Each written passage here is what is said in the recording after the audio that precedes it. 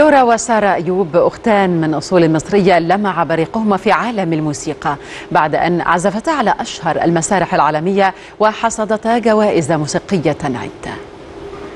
المزيكا لغة عالمية. اللي بتجمع الناس من كل الدنيا.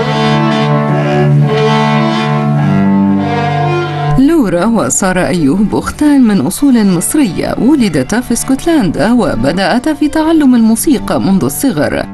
إلى أن لمع بريقهما في عالم الموسيقى العالمية حيث حصدتا عدة جوائز وعزفتا على أشهر المسارح. كما تصدر الألبوم الخاص بهما قائمة الموسيقى الكلاسيكية بالمملكة المتحدة. إحنا كنا بنسمع المزيكا على الراديو وكنا بنقول إحنا عايزين نعزف زي كده. إحنا ابتدينا مزيكا وإحنا صغيرين قوي. أنا كنت سبع سنين وأختي كانت أربعة. إحنا ابتدينا بالبيانو. بعدين جربنا تشيلو وال violin بعدين إحنا دخلنا آه، مدرسة مخصوص للمزيكا.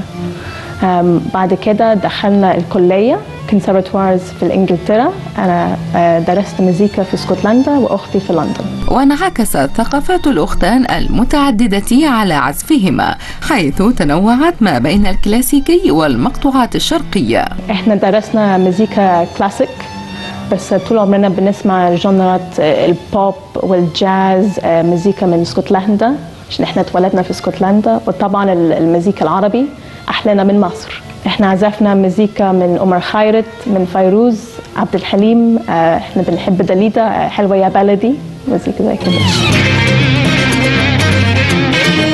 وكانت أغنية Uptown Funk هي بداية انطلاقهما نحو العالمية.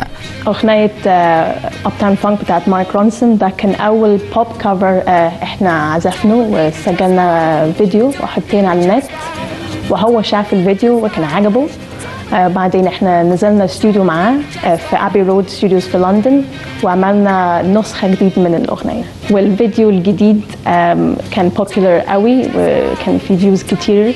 وبعدين أختي وأنا إحنا عملنا عقد مع Universal Music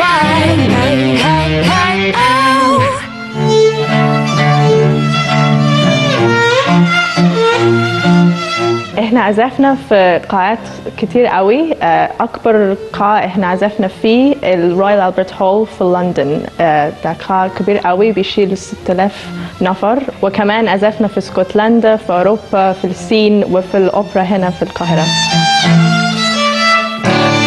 إحنا خدنا جايزة في اسكتلندا عشان إحنا كنا أحسن فنانين آه، 25 سنة وأقل واسم الجايزة Young Scot Award إحنا ترشحنا لجايزتين عالمية اسمهم The Global Awards and Classic Brit Awards.